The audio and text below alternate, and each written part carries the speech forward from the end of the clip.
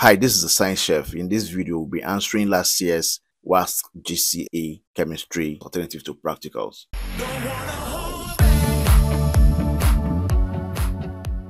This qualitative analysis, and here you are given a series of tests carried out on some inorganic salts, and you are asked to complete the table.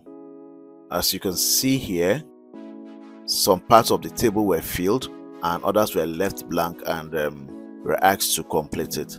So you will use the test and the observations to deduce the inference as the case may be.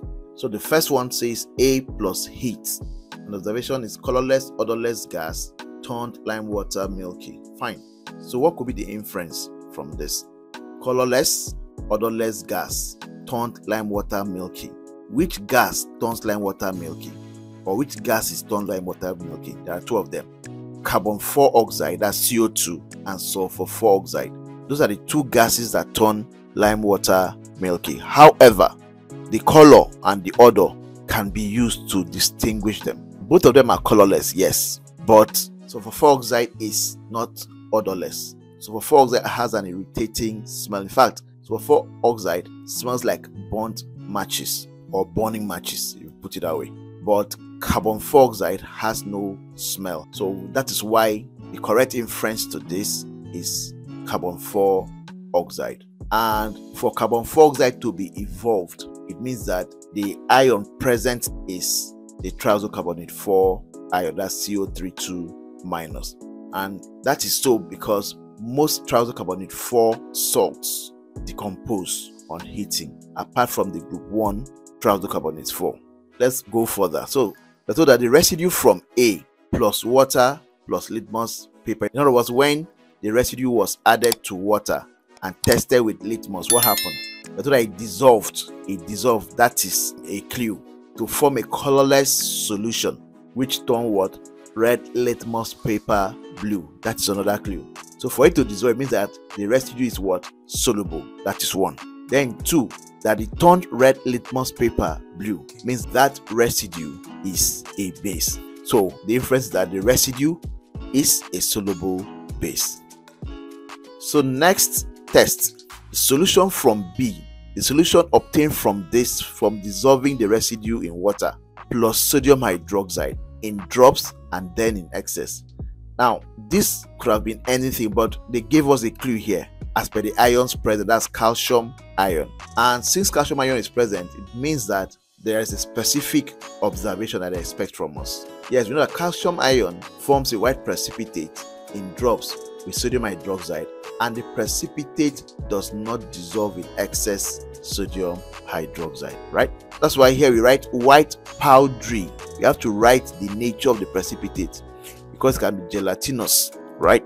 But since it is calcium, it is powdery. And since it's white powdery precipitate, it is not only calcium that forms a powdery precipitate, lead 2 also forms a white powdery precipitate with sodium hydroxide in what? Drops. Are we together? Remember to write your precipitate in full. Write it in full. Don't write PPT. Write it in full. Now, in excess, this is where you now separate calcium from lead 2. If it were lead 2 ion, the precipitate would have dissolved in excess sodium hydroxide because lead 2 hydroxide is amphoteric. But calcium hydroxide is not amphoteric. So that's why the precipitate remains insoluble in excess sodium hydroxide which is why we have calcium ion being present. Then the next test is on salt b. And in salt b salt b is added to water. And when it's added to water we are told that it is a soluble salt. That is the inference. As a soluble salt so what happened for it to be considered as a soluble salt. It means salt B dissolved in water. If it dissolves in water, what will be the color of the solution? For us to get that, first of all, come down and check if you are given any clue on the type of ion, especially the cat ion that is present in the salt, because it is the cat ions most times that are responsible for the colors of the salt. I say most times, not all the time though the cation present in B is aluminium, aluminium 3 plus, and aluminium salts are white. And since all aluminium salts are white, it means that in solution they'll be what colorless. So that's where we how we got dissolved to form a colorless solution. If it were copper 2 that was present, it would have been dissolved to form a blue solution. So take note of that. Then the next test says solution from D plus aqueous sodium hydroxide in drops and then in excess. Now we know that already the ion present is what? Aluminium ion.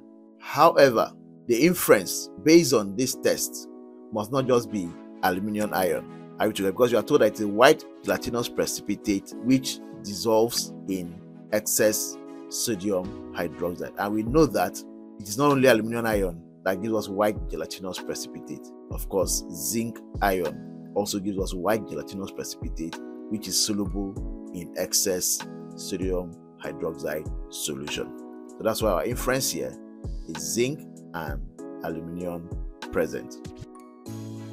So the next test is what solution from D plus ammonia in drops and then in excess. Okay, we are told that aluminum ion is what present, and we know that we use aqueous sodium hydroxide and aqueous ammonia most times to identify cations based on the WAEC O level syllabus. Okay, so aluminum ion forms a white gelatinous precipitate with aqueous ammonia in drops. Yes, in drops, and that precipitate is insoluble in excess ammonia. It is only zinc ion that will dissolve in excess aqueous ammonia. Are we together? So that is why the reaction with aqueous ammonia is used as a confirmatory test for zinc ion. But since it is aluminum ion, it means that the precipitate remained what? Insoluble. All right. And then the last test here, solution from D. Solution from D again, plus aqueous silver trioxonitrate 5 and or dilute trioxonitrate 5 acid after which aqueous ammonia was added in what excess. Whenever you see these three reagents, just know that you are testing for what halide ions. And in WAEC, the most common halide ions that is always tested is what chloride ion. Yes, they might test for bromide ion and iodide ion, but the most common one is chloride ion, which is a white precipitate. Bromide ion, that's Br minus, is a cream precipitate, while iodide ion, that's I minus, is a yellow precipitate. So what happens when you add a solution containing chloride ion to silver trioxonitrate 5 solution? How do you know it's chloride ion? Because we have been told already that chloride ion is what? Present and confirmed. Since it's chloride ion that is present, then the chloride ion will react with the silver trioxonitrate 5 to form white precipitate and in that case we suspect a chloride ion and what trioxocarbonate 4 ion because trioxocarbonate 4 ion can also combine with silver ion to form a white precipitate of silver trioxocarbonate 4 right? If we add dilute HNO3 what happens? If trioxocarbonate 4 were to be present it will produce a effervescence and release carbon dioxide in other words, if a trioxocarbonate 4 ion is present, the precipitate will dissolve when dilute trioxonitrate 5 acid is added because a gas will be evolved. That carbon dioxide gas will be what? Evolved. But since we are told that chloride ion was present or is present, then it means that the precipitate does not dissolve or did not dissolve. That knocks off what? Trioxocarbonate 4 ion. And then by the time we now add excess aqueous ammonia, the precipitate will dissolve to form a colorless what? Solution. And that confirms what? The chloride ion. And that brings us to the end of the qualitative analysis question, which is 21 what? Marks. So if you're able to learn anything from this video, hit the like button, subscribe to the channel if you are yet to do so, and turn on your notification bell. Feel free to share or recommend the video to your friends also preparing to write by GC